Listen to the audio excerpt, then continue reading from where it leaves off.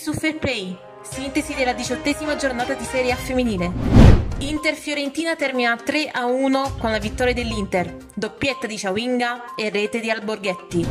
Pomigliano-Sassuolo termina 2 a 0 per il Sassuolo, rete di Sabatino al 69 e Dongus all'82.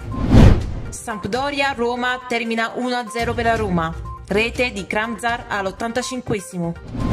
Juventus-Parma termina 2 a 1, rete di Bonansea al 17 e Girelli al 22 Como Milan termina 4 a 0 per il Milan, doppietta di Piemonte, autogol di Lipman e rete di Vigilucci. La classifica finale è la seguente: Roma 48 punti, Juventus 40 punti, Inter 35 punti, Milan 34 punti, Fiorentina 34 punti, Sassuolo 17 punti, Pomigliano 14 punti, Parma 13 punti, Como 11 punti, Sampdoria 10 punti. Per oggi è tutto. Ed è tutto anche per la prima fase della Serie A femminile. Continuate a seguire i nostri profili social per ottenere aggiornamenti riguardo la pool scudetto e la pool salvezza. Fair play, storie di calcio, storie di vita.